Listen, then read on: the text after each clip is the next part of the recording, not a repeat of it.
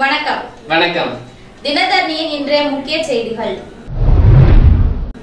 மதுரை மாவட்டத்தில் மல்லிகை பூவின் உற்பத்தி அதிகரிப்பால் மல்லிகை பூவின் விலை குறைந்துள்ளது. தேனி மாவட்டம் பெரியகுளத்தில் திமுக மாநில இளைஞரணி செயலாளர் உதயநிதி ஸ்டாலின் விடியலின் குரல் என்ற பிரச்சார கூட்டத்தில் உரையாற்றினார். வந்தவாசியில் அங்கன்வாடி பணியாளர்களுக்கு கல்வி கற்கும் அணுகுமுறை பயிற்சி அளிக்கப்பட்டது. தை அமாவாசையை முன்னிட்டு அணைப்பட்டி ஆஞ்சநேயர் கோவிலில் பொதுமக்கள் தங்கள் முன்னோர்களுக்கு தர்ப்பணம் செய்தனர். பழனி முருகன் கோயிலில் பஞ்சாமிரதம் தபால் மூலமாக அனுப்பும் சேவை தொடங்கப்பட்டுள்ளது. திண்டுக்கல் மாவட்டம் முழுவதும் இரண்டாயிரத்தி இருபத்தி ஒரு போலீசார்களுக்கு கொரோனா தடுப்பூசி போடப்பட்டது.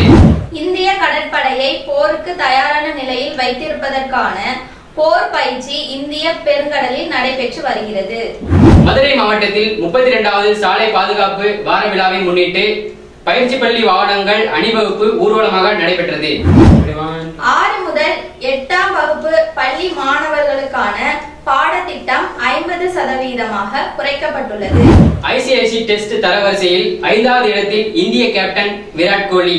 நெல்லையில் இன்று கறிக்கோழியின் விலை தொண்ணூத்தி இரண்டு ரூபாயாக விற்பனை செய்யப்பட்டு வருகிறது. இத்துடன் தினத்தரணி செய்திகள் முடிவடைகின்றன. நன்றி வணக்கம். வணக்கம்.